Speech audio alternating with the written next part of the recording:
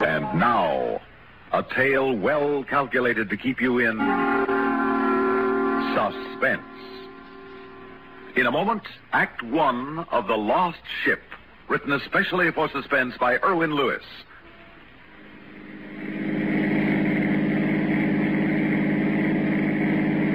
It's a sharp curve ahead, Harry. Be careful. Don't worry, I see it. A close one. Harry, you hear something? What? Sounds like a siren. Harry, it does sound like a siren, doesn't it? Shut up. Let me listen. Yeah, I think you're right. Maybe it's the police. How could it be? We lost some hours ago. I don't know, but it's getting louder. Can't take any chances. We better get off this main road fast. Yeah, that looks like a cutoff. Oh, but it leads straight across the desert. It isn't much of a No road. time to be choosy. Hang on. Oh,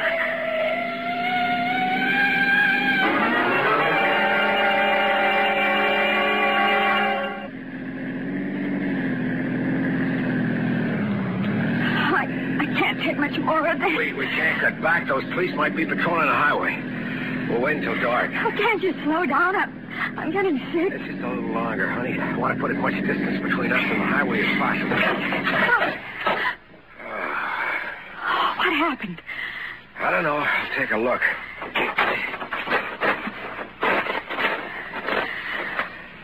What is it? Broken spring. Oh, what do we do now?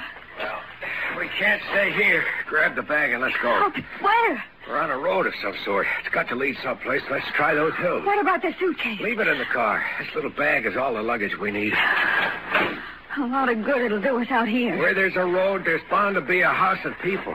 What's in this bag talks any language. Come on, let's go.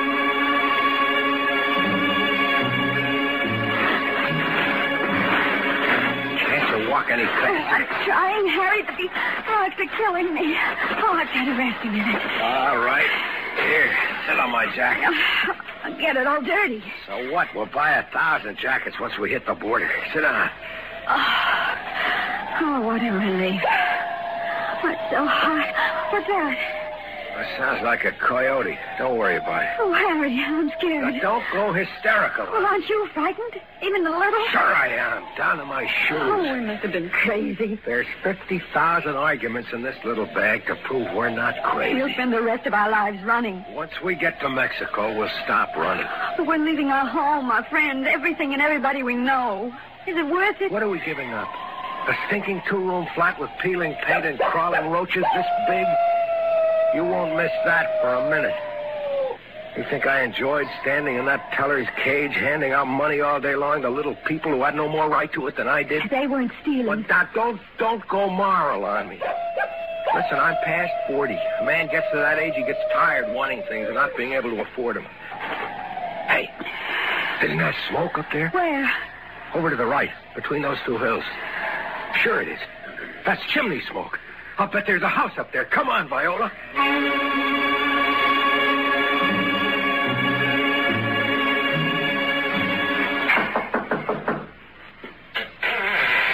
Well, hiya, folks. Kind of off the tourist trail, ain't you? We, uh, we were wondering. Uh, no sense wandering outside. Come in, come in, make yourselves comfortable. Yeah, your car broke down, huh? Why do you say that? Well, nobody'd walk here if they could ride. Yeah, and take a look at your shoes. Lady, I'll bet your feet, feet are full of blisters. Ah, you're so right. Well, take off your shoes and sit down by the fire. I'll poke it up. Starting to get nippy now. The sun's gone down. thank you. I was uh, fixing myself some supper, pork and beans. Be mighty proud if you'll join me. Uh, thank you, Mr. Uh, Uh, Townley, Pete Townley. I'm Harry Turner, and this is Mrs. Turner. I'm pleased to meet you. I'll open another can of beans. Eh, Ain't much, but it's fillin'. You live here all alone, Mr. Townley? Pete, man, no sense being formal. Yep, yep, I live here all by my lonesome. Going on 20 years, I reckon. Twenty years. Uh, you ever have visitors? Oh, once in a while. Expecting a neighbor of mine. Uh, Let's see now. Uh, day after tomorrow. Neighbor? Yeah, Sam Higgins. Lives about 40 miles from here. Drops in regular, twice a year. What, what do you do about supplies, food and things? Well, uh, I got a Jeep in the back. I use it to go to town once a month for supplies. A Jeep? Yeah, yeah. Guess you didn't see it coming up here. I'll drive into town first thing in the morning, and get Bill Jenkins from the garage to come out and fix up your car. Can't you go right now? By the time I get back, it'd be pitch dark. No, no, better wait till tomorrow. Well, let's see if the beans is. Oh, oh say, they sure are. yeah, yeah. I hope you don't mind tin plates. Yeah. Well, let's dig in.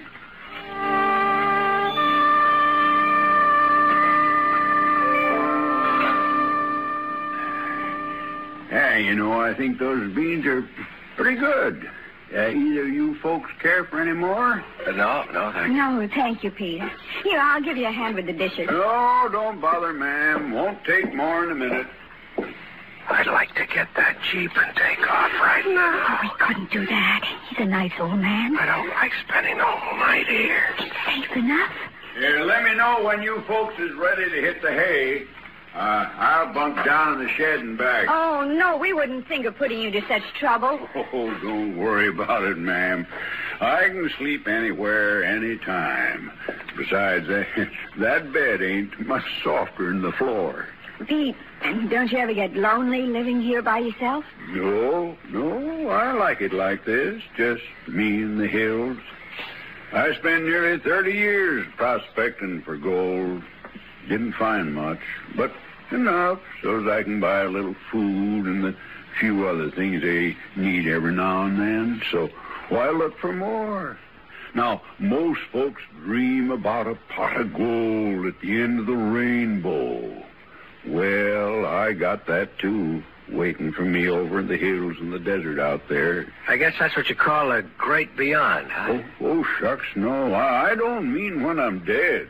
I'm talking about a real pot of gold, bigger than anything you ever seen or dreamed of, probably. In the desert? I don't understand. What is in the desert? A ship, ma'am. A great Spanish galleon, and it rides the sand dunes of the desert like it was sailing the seas again. A ship in the desert? That's impossible. I'll tell you how it was, son. There's a legend that hundreds of years ago a Spanish ship come sailing up the Gulf of California, having come from Mexico or Peru or one of them other South American places.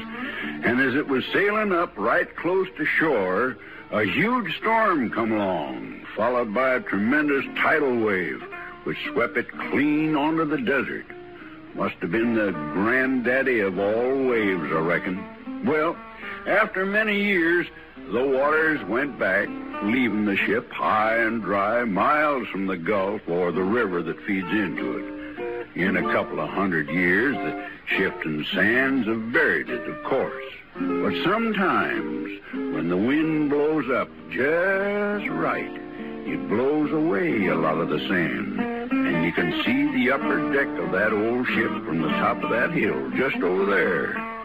According to the legend, too, the hold of that ship is just jam full of treasure. What a lovely story. A pretty fairy tale for children and old men. Harry, that's not a nice thing to oh, say. Oh, that's all right, ma'am. Of course, he's right. But it is a pretty fairy tale. Just so happens this fairy tale is true.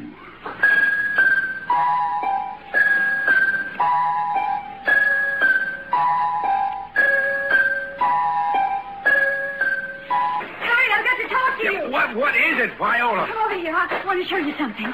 Now, what? What are you so excited about? I was straightening out things in the cabin after you left. I found these. Coins. Yes, but what kind? Gold coins. And look at the words on them.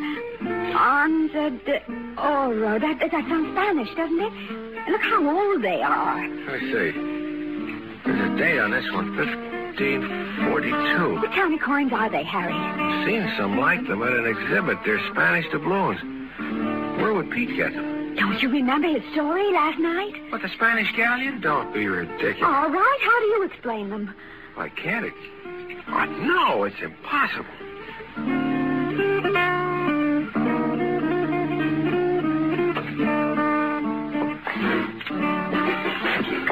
Pete, Yeah, what's up, son? I, my wife found these in the cabin. Where did they come from? Oh, oh, them things. I, I reckon they come from the ship. What do you mean?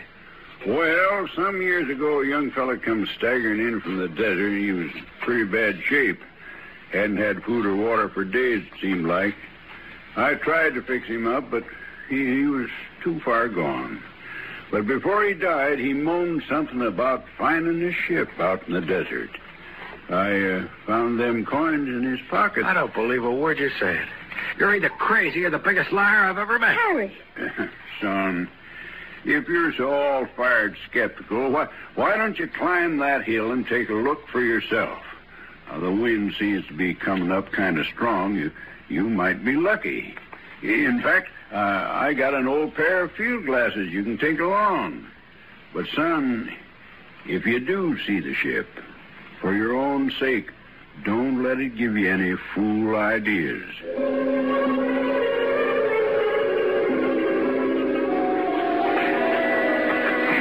Harry. Harry, I can't climb another foot. You're almost to the top. Here, grab my hand. There, there. Now, just a few more. Pete. Ah, made it. Oh, Yeah. now that we're here, what? I can't see a thing with the wind blowing sand in my face. I doubt if there is anything to see. That doddering old man tells us a fairy tale and we buy it. All we'll get for our troubles is our lungs full of desert. Why did I let you talk me into climbing up here? Look at my dress. Yeah, might as well head back. Uh-huh. That old man. Wait a minute. Wait a minute. The wind is dying down. Take a look through these glasses. Yeah. Yeah, still can't see a blasted thing but sand and sagebrush. Huh, Did you see something? Can't tell for sure. But I'd get a better focus. Huh. Viola! What is it, Harry? I don't believe it. What, Harry? I see a broken mast and a part of a hull buried in the sand. Viola, the old man was right. There is a ship out there in the desert.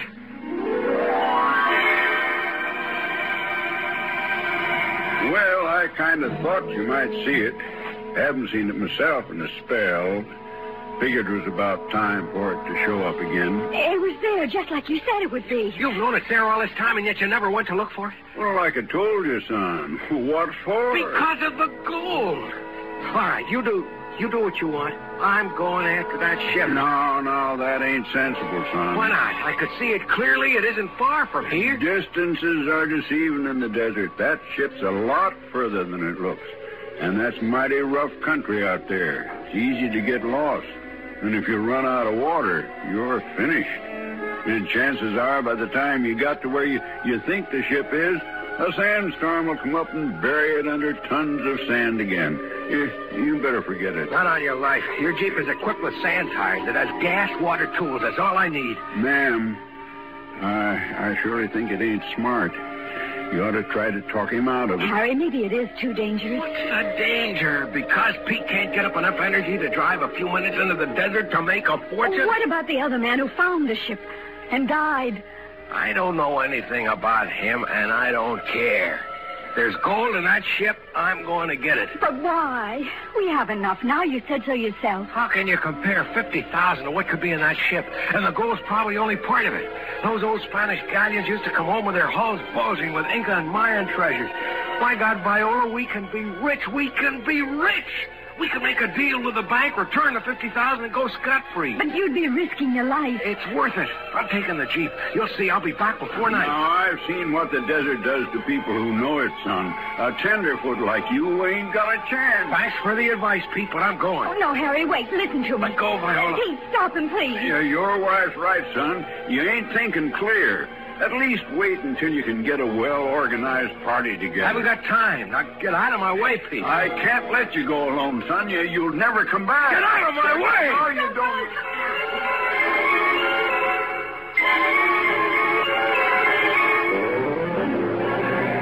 Come on. Come on, now. It can't be much further. The rear wheels are stuck in the sand. Maybe I can slip something underneath. Uh, sun is strong. Yeah, the wheel has dug itself a nice little hole. Well, there's a shovel in the Jeep. If I jam it up against the tire, maybe I... Uh, here it is. Uh, well, if I just... Wait a minute, what's over that ridge? Looks like some sort of structure. Can't be a house. Who could live out here? I better take a look.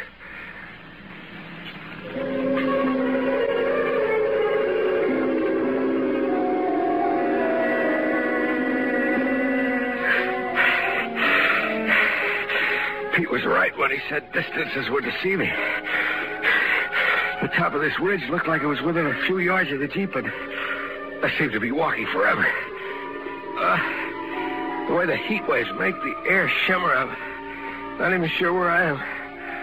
Uh, I'm getting to the top. Now, now, let's find out just what I saw.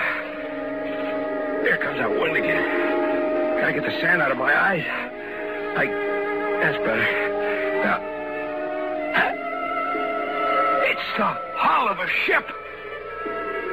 Yes, this is what I saw from the hill. Look at her buried in the sand with little more than part of the top deck visible. But it's a ship, all right.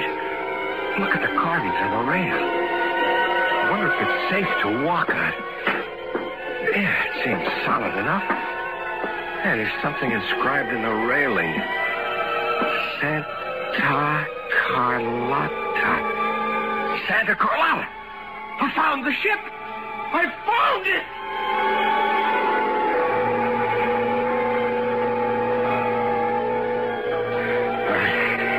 Take it easy, Harry. Keep calm. This is only half the bottle. You don't know if the hull is filled with sand or what. Now let's look for a hatch. Find a hatch and open it. It'll lead to the interior. Clear away the sand. Gotta dig the sand away. I gotta find out what I hit. Come on out, boy. The sun is beginning to set. There's not much time left. I was right. It is a hatch. Now, to get it open. Oh, it's jammed. I can't budge it. Wait a minute. Pry it open with a shovel. That's right. I can feel it giving. It's coming up. Get my hand underneath the edge. That's it. That's it. Now my other hand. No, I can just lift it. Ah. I got it. I got it. Now, just prop it up with the shovel. There. That does it. Oh, it's dark down there. I can't see. Wait a minute. Wait a minute. Here's the top of a ladder. Wonder if it'll hold me.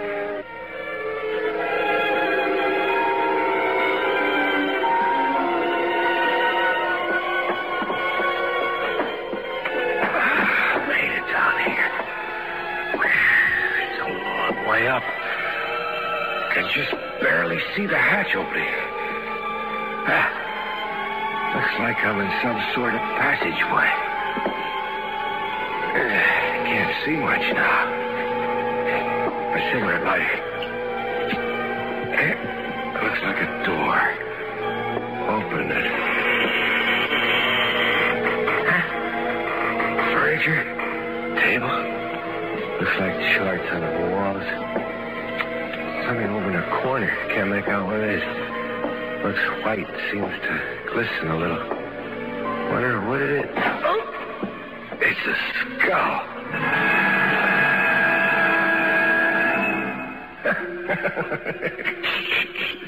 Scared the life out of me.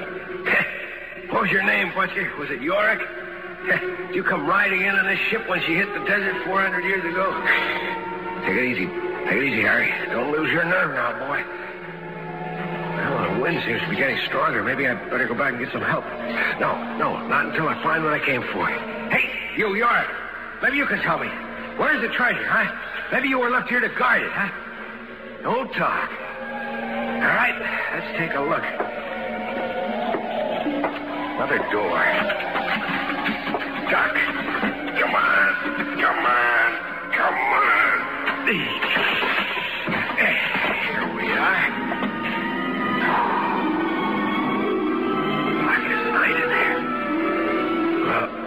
Yorick was guarding. Wish I'd brought a flashlight. This lighter doesn't help much. What? What's this? Looks like some sort of chest. Chest. Chest. Okay, now to see what's inside.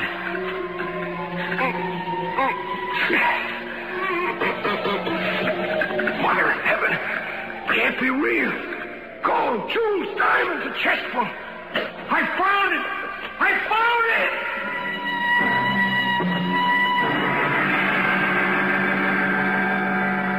Oh, what a magnificent sight. Coins, jewels. Fill my pockets, cram them in. Come on. Wait, wait, wait, wait. There's a burlap bag in the Jeep. I'll get that. Oh, Viola, Pete. What do you say when I come staring and carrying this magnificent fortune? Ah, can't hold any more. I gotta get back to the Jeep. So long, Yorick. Don't be sad. I'll be back. Uh, flame is getting low on the lighter. Well, I won't need it much longer. What? What was that? Uh, the wind isn't so loud. Where, where's the ladder to the hatchway? So dark. Oh, oh. Wait a minute. What is this? The shovel. Oh, the wind blew the hatch down. Well, that's all right. I'll just climb up and force it open. Ah, here's a ladder. There's a ladder. Now, here, here's the hatch.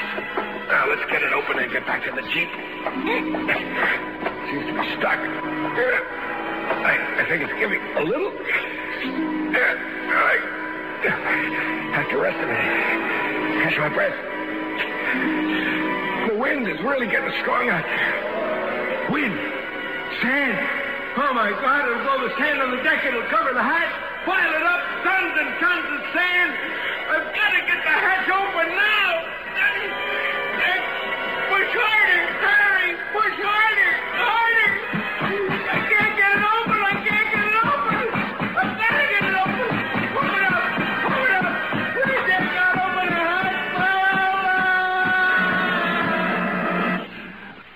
Suspense. You've been listening to The Lost Ship, written especially for suspense by Erwin Lewis.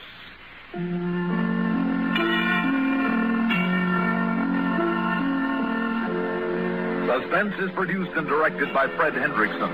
Heard in tonight's story were Matt Cooper, Gene Gillespie, and Bill Adams. Music supervision by Ethel Huber. Sound patterns by Walter Otto. Technical direction by Fred Turner. This is Stuart Metz speaking. Listen again next week when we return with another tale well calculated to keep you in suspense. Three times each weekday, share a woman's world with Betty Furness on the CBS Radio Network.